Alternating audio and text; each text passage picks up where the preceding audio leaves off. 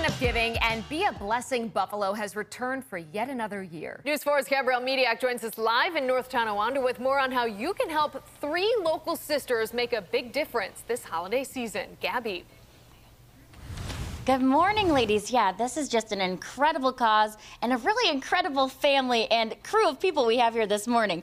Kate Tolley Gerlach is with us again this morning. Fill me in on what you guys are specifically looking for this year. Yeah, we're looking for new unwrapped gifts for kids ages 0 to 18, as well as new backpacks, toiletries, hats, and gloves for our friends over at Code Blue. Great. This is all in honor of your late father. Every year, this event gets bigger and bigger. He was a giver, and you guys take right after him. Yeah, we can't say thank you enough to our community, our corporate sponsors, our small businesses like Bliss Salon. I mean, we can't do it without people like them. Yes, and you've probably seen at home, we've got quite the crew over here at Bliss Salon. This is one of the many places that you can drop off a brand new toy. We've got Santa, we've got Carlos here. Good morning, buddy. There you are. And we've got the puppy.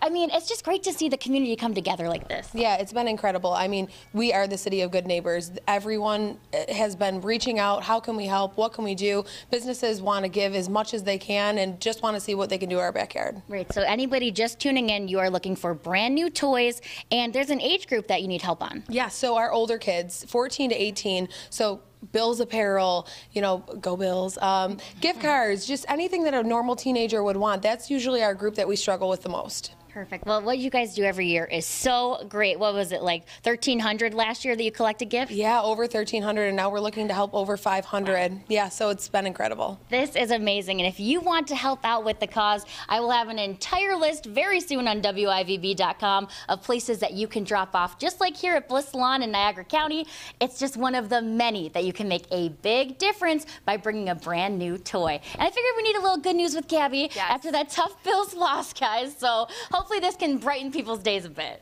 All right, I'm all for it. Of course, it uh, warms our heart during a, a time of need this holiday season. Gabby, thank you. Yeah, Gabby, thanks.